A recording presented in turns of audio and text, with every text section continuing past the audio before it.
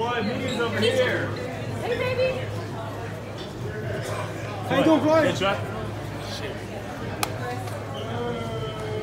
Julian, Julian, back, back.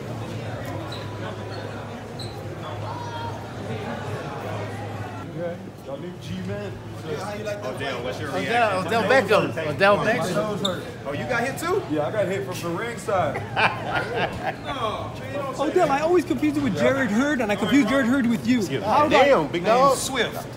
yeah, how do I not get confused with you guys? What's the secret? You taller than I am. You guys look so alike. Do you ever get confused with him at the airport? Well, yeah. Oh, so you a big fight fan. You know Jarrett Hurd. What, what, you need some help?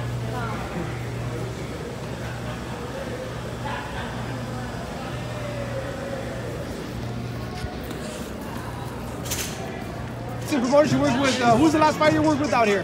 Devin Haney. How was that? He's very talented. Yes, he is. Yes, he is very talented. You were saying you're agreeing with her, you're nodding your head. What about Devin Haney posted a picture of him facing off with Ryan Garcia? How big would be that fight? Be huge. Huge. Devin's ready. And tonight you guys were here, you obviously saw Javon Tank Davis do his thing. How amazing is Tank?